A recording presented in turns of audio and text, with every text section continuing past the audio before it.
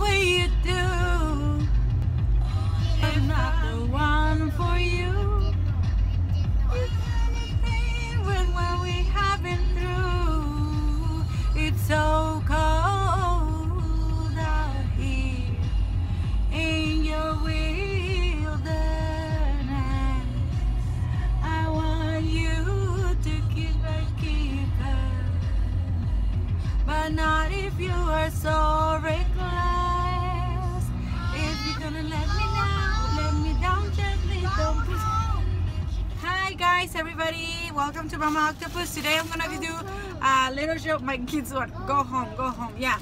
Wait a second. So we're just gonna show. I got this bag for 1.99. I'm gonna show you what it has. First thing here, Naya. I know you're gonna be excited about this. Yay!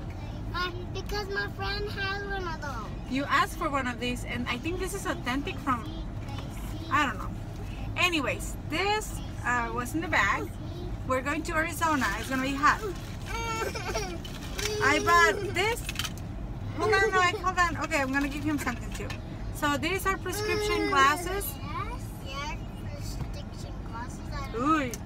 So there you go. Now you can play with those.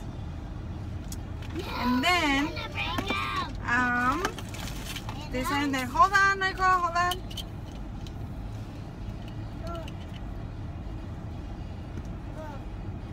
What do you No. think?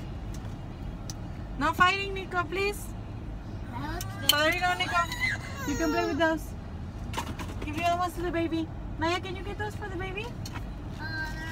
Then these ones, I think they snap on something. Oh, actually they have like little legs here. Um, so maybe they go with the other glasses. And then the reason I bought that is because um, I had this bag and I found these glasses. I'm a nerd, I know. So, they're not scratched at all. I'm lucky. And because we're gonna be driving down to Arizona, I was like, yes, we need glasses. So there you go, 199 three pairs of glasses and a fan, ready for the trip. See you guys in the next one. Bye.